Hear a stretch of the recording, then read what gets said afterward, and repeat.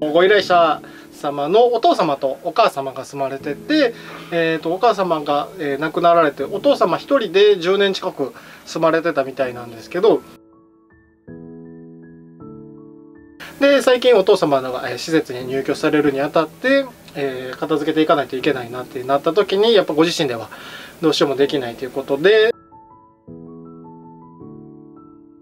年配の方ってやっぱり物を大事にされてる世代で生活してきてるので残すっていうのがもう当たり前になってるんで物はなかなか捨てることに慣れてないので片付けれる状況なのであれば片付けていくのが一番やっぱり本当は理想なんですけど現実的にやっぱりどうしても難しい。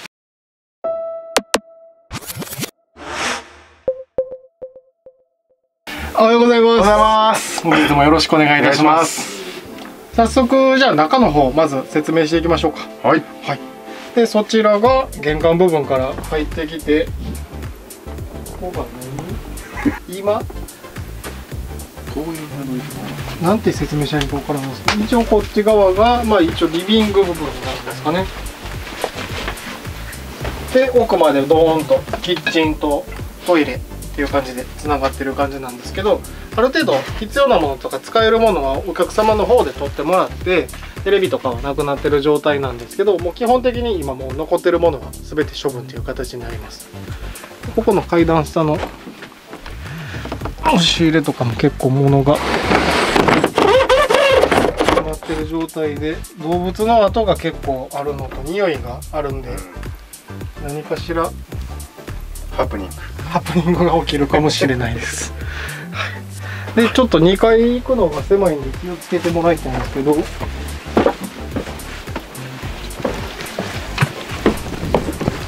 の階段も物がちょこちょこっと置いてる感じですねこんな感じで2階の手前のこっち側が物置とか衣装部屋というかキッチン部分もあるんですけど奥にも本棚があったり通し入れにもいろいろ詰まってる感じですねで奥のそっち側がこんな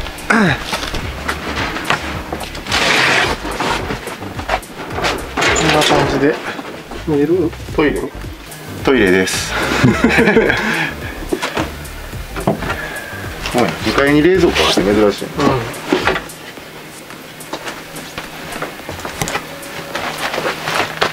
一応経緯としては、えー、とご依頼者様のお父様とお母様が住まれてて、えー、とお母様が、えー亡くなられてお父様一人で10年近く住まれてたみたいなんですけどで、えー、とご依頼者様が近くに住んでるみたいなんですけどなかなか、まあ、見に来たりもできずお父様一人で長年住まれてたんでちょっと状態は綺麗にできなかったっていうのはおっしゃってたんですけどなかなか手伝いも来れずにもう放置されてる状態でっていうことで。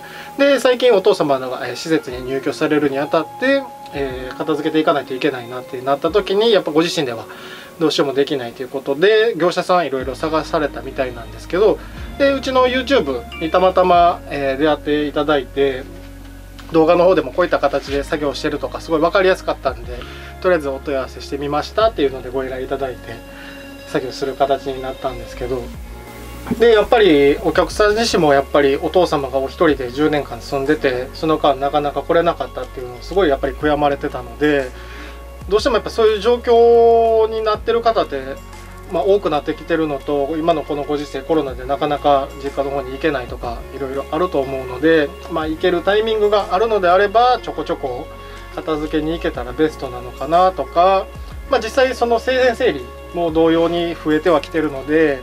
まあ、一つまた参考にしていただければなと思いますなのでまたいつも通り、まあ、写真アルバム貴重品ぐらい、了解でねす。、片付けていきますので頑張りましょう目安は？目安はそうですね一応今日で言うと6人作業員来てて、まあ、2階建てで運び出しはまあスムーズにできそうなので作業内容としては大体3時間から3時間半ぐらい目安ですがいかがでしょうか？それぐらいではうん。お話ししましょう。一緒な感じ。いや、ちょっといや、まあもうそやな。頑張ります。頑張ります。お願いします。お願いします。今日は2階から作業するんですか？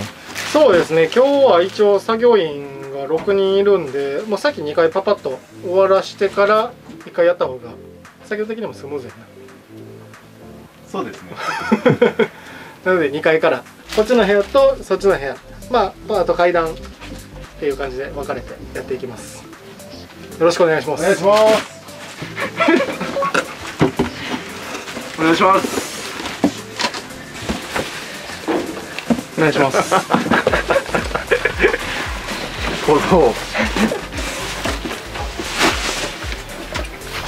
もう玄関やっていっていいですか？お願いしますいやじゃああの階段の方を開けてあそっち、うん、開けていってくれる。これやっぱ狭いから溜めていけないよね。そうですね。ちょっとずつ下ろしていかんとダメですね。だってなんでそんな喋り方硬いん今日。なんか僕ってでもあれ喋り方なんか汚いですよね。ああやったみたいな。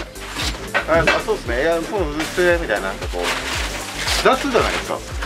そうかな。早口なんかな。そうですかね。あれ？あれ？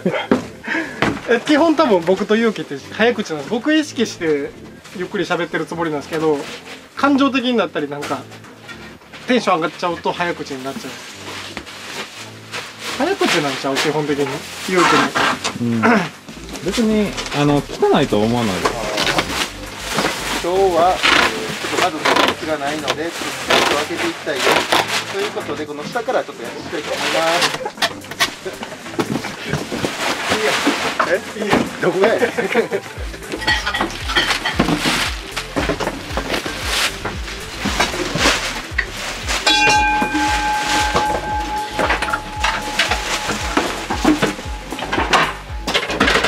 なちゃんいいこれ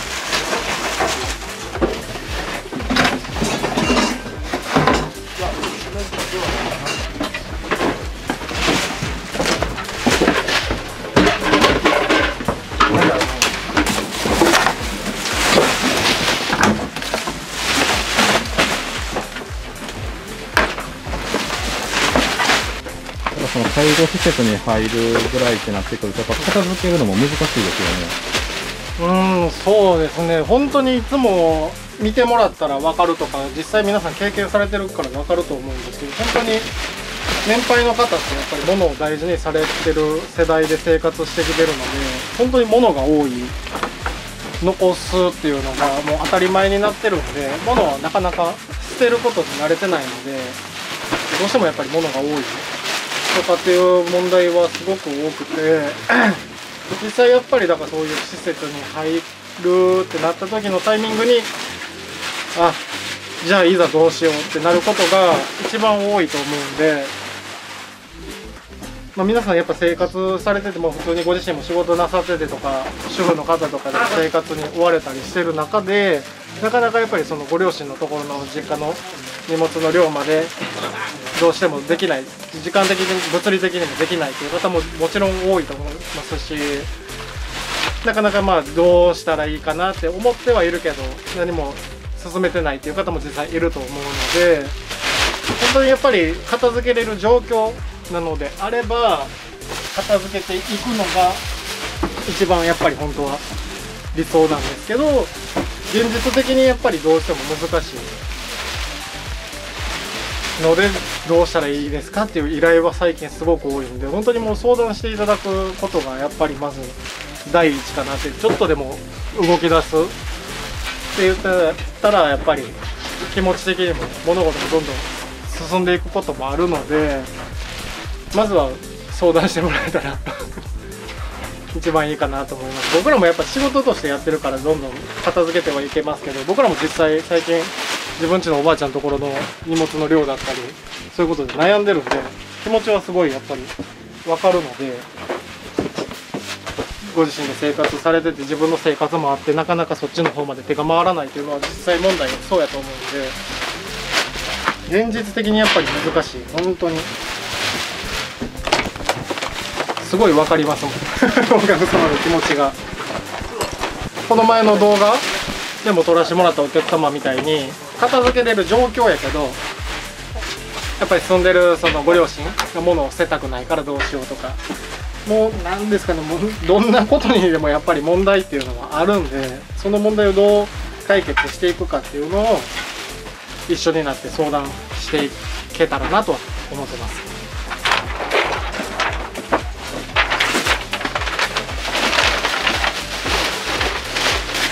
まあ、こっちの部屋の方が多いですね、多いですね。終わった。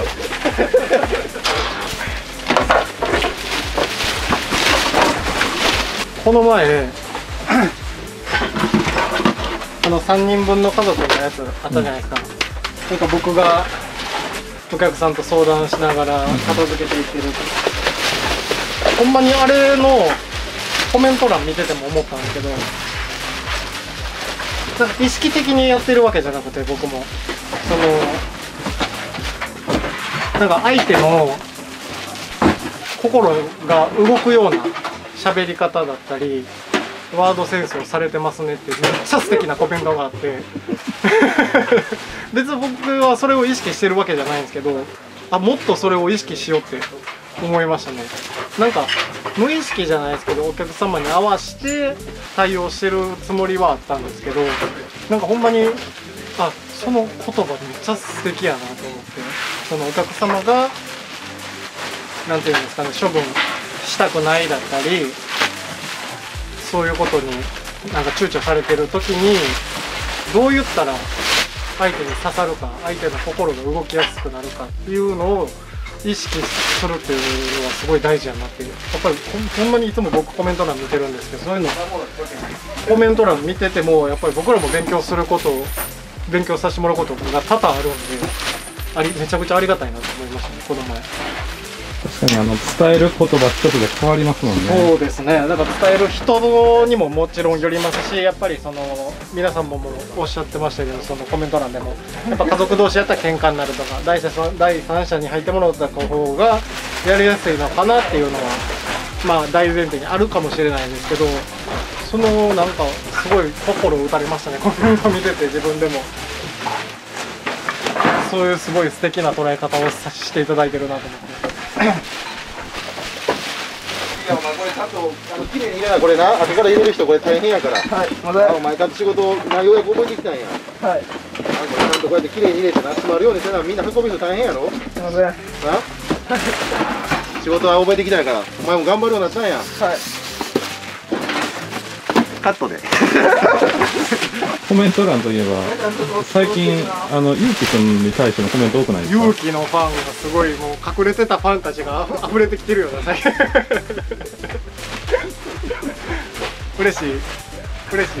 まあその俺そんなんであんま仕事こう頑張るとか頑張らんとかそんなちゃうから。さもともと頑張り屋さんやそうかもう恥ずかり屋多い恥ずかしがらんといてほしい。隠れ隠れても欲しくない出てきてくれていいのよ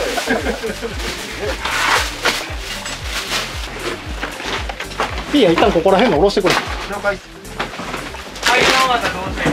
あちょこちょこここの下ろしてあのピーヤと一緒に下ろしててくれる？一回まだ触らん方がいいです。一回まだ触らん方がいいな。玄関周りと通路だけで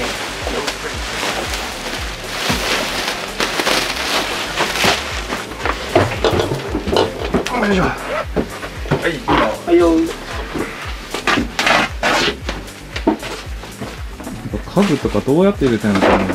なんか昔はやっぱ後ろが空いてたとかあっていうのがあると思いますけどね。で特にここ1階でいうとあの正面の扉あここ多分最初出入り口だったと思うんですけど、そっち閉じて今こっちになってるから昔はこう直線で出し入れできてた。な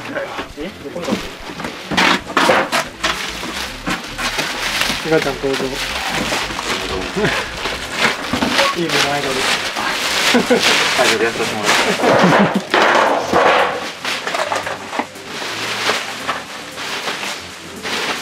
あ。皆さんがあの、玄関周りの担当？してたのかな？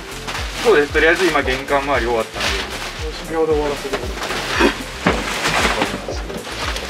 れ系かなヘビー用で皆さんこれそっち置いていい？誕生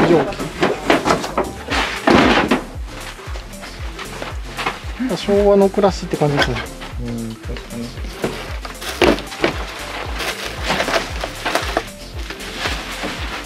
昭和45年って何年か前かも分からない皆さんまた、はい、上がってくれて袋を両方適当に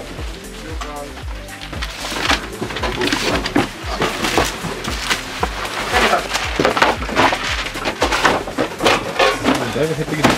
減りましたねちょっと。ただそれでも全然。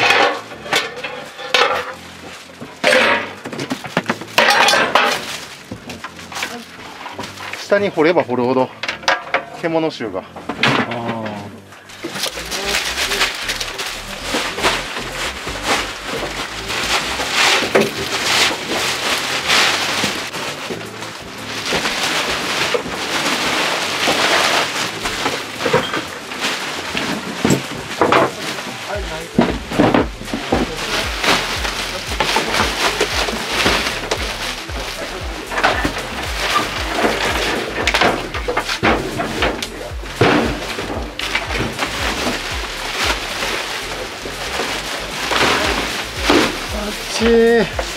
ってきたね。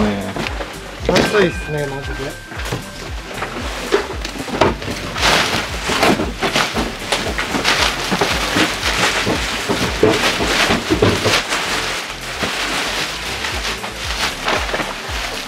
この辺のできたやつ渡せば絶対いつもワイヤーをゆらちゃんこれ出していい？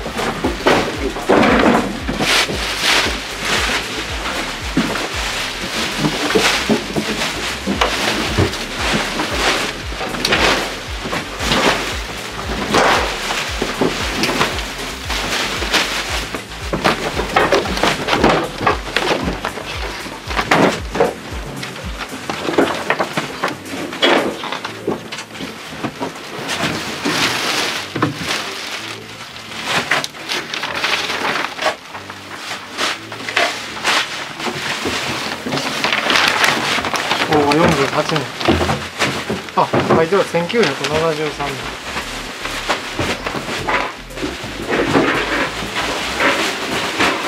11月4日。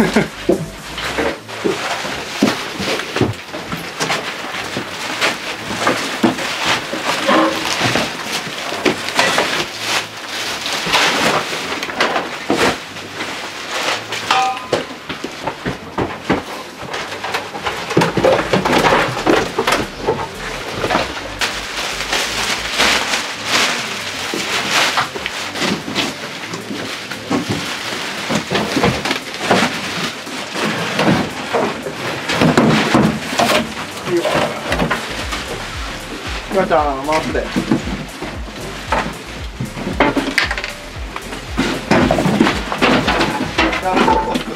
はい。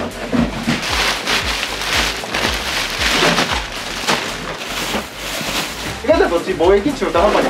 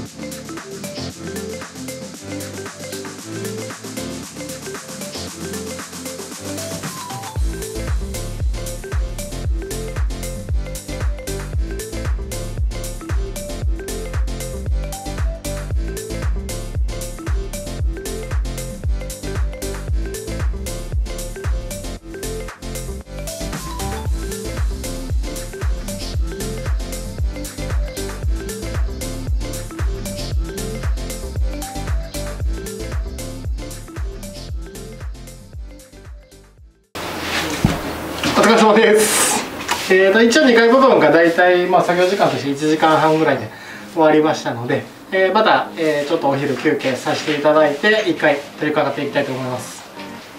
お願いします。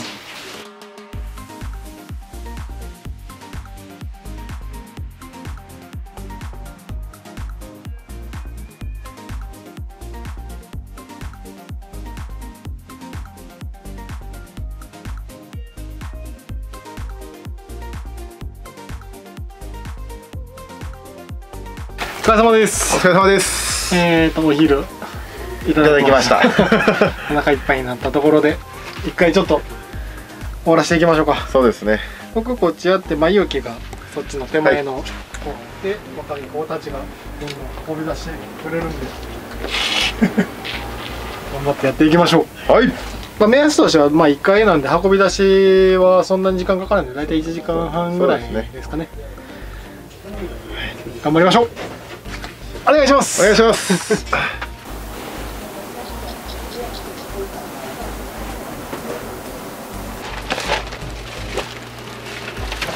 いやまだ手前から来てくれる？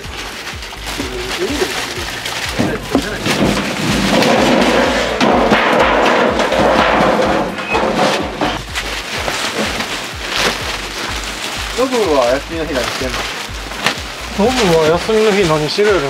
基本的に休みの日も僕ゆうきと一緒にいますからね。ほぼ毎日。ほぼ毎日。仕事も休みも。うんざり。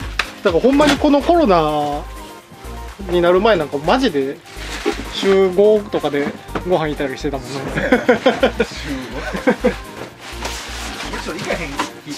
なかったのな。で 休みの日も普通に一緒に買い物行ったりゴルフ行ったり。今ちょうど緊急事態宣言多分出る前なんですけど、これもなんか一つのきっかけかなと思うんで、ね、片付ける。うん、いやほんまにその通りですね。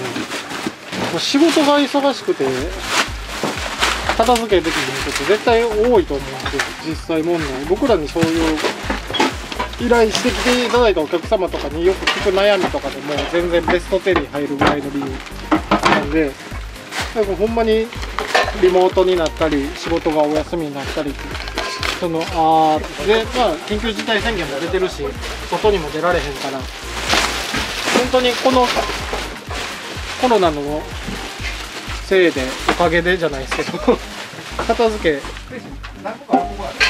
するっていうきっかけになったっていうのはよく聞けますね。で実際そのコメントとかでも多いですしねコロナで。片付ける機会が増えてきて動画見てやる気スイッチ入れて。だから本当にこの休みとかを利用してまずはね、まあ、どこから片付けたらいいかわからないっていうこともあると思うんですけどなんで生活をしてる部分例えばベッド周りだったりご自身のデスク周りだったり一箇所ずつ。一箇所ずつ。片付けていって、まあ、達成感味わってどんどん進めていけたら一番理想かなっていう思います。かんな？一箇所受注急に急に赤ちゃんになったし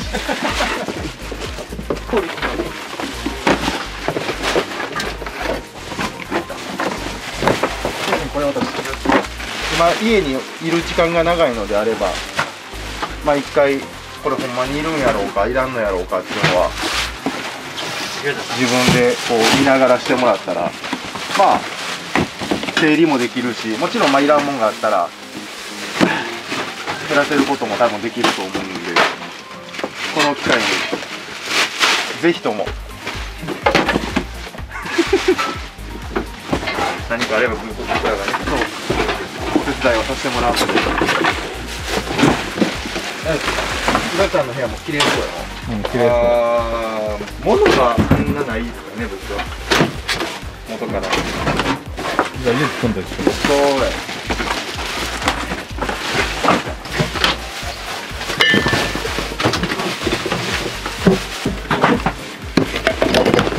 進捗どんな感じですかちょっと映せないんですが。いい感じです今。何割やまああと3割ぐらいですね。あともうほんまにちょろっとなんで。はいはい。何ボールもがって123 あと23個。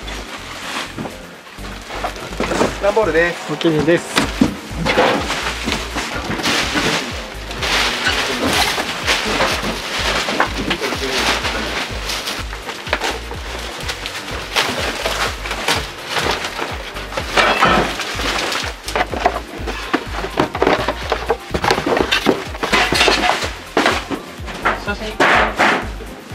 お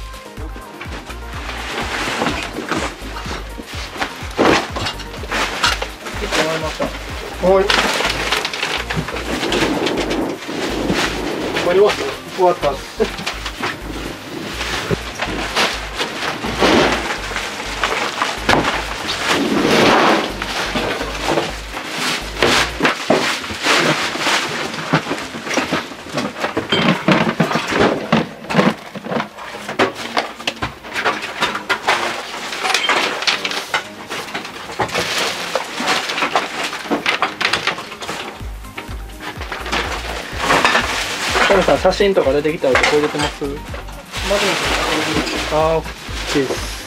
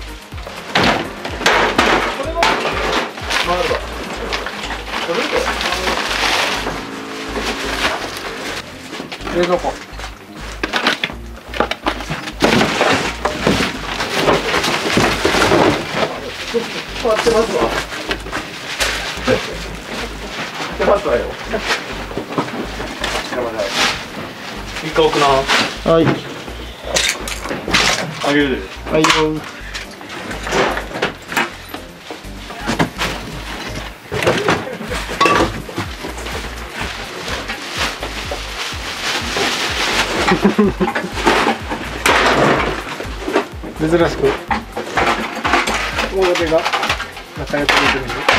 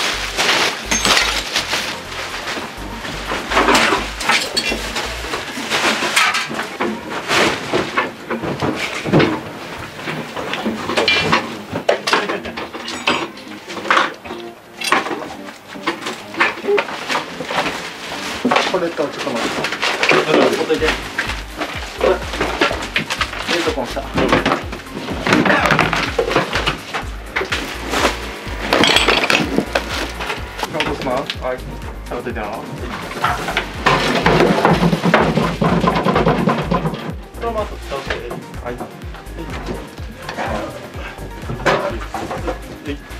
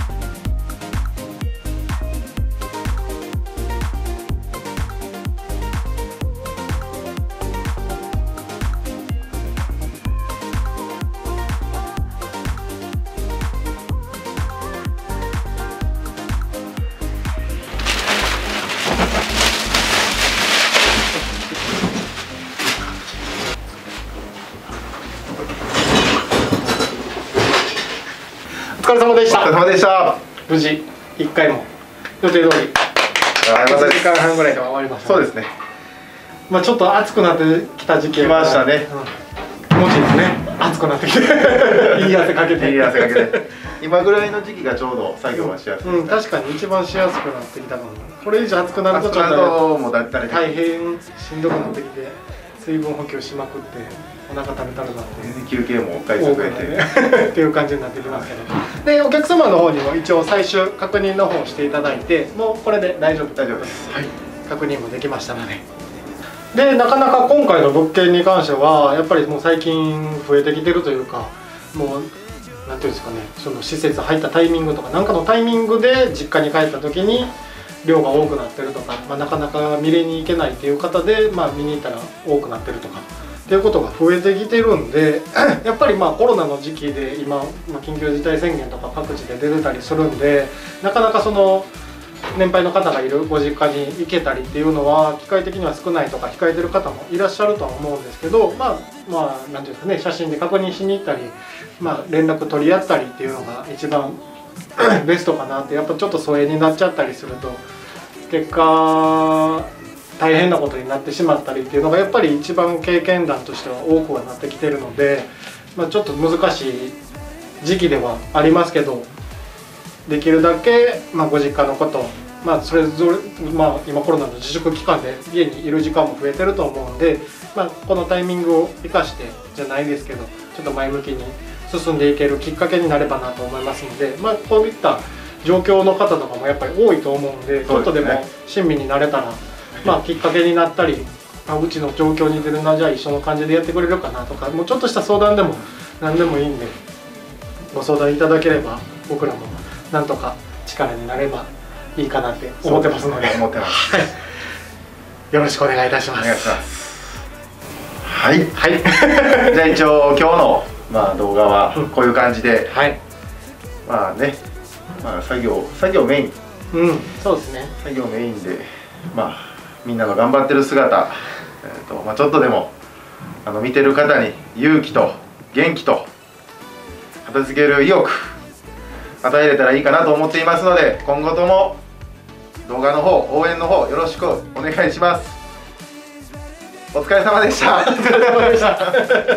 また。まだチャンネル登録。下に出てる出てます？いいえコメントも温かいコメントやったりまあでもいろんなこんなん見てみたいとかああそうですね。ご要望とかあれば。毎回同じ動画じゃないですけど、うん。たまにはこう違う。そうですね。僕らもちょっとどんどん挑戦していきたいね。行錯誤というか、試行錯誤していかないとはいあかんなと思ってるんで、なんかこういうのを見てみたいとかうんあったら、ぜひともそれにご要望に応じれるように。はい。頑張ります。よろしくお願いいたします。今後とも。ありがとうございありがとうございました休みの日ですか？休みの日。何してんねやろ。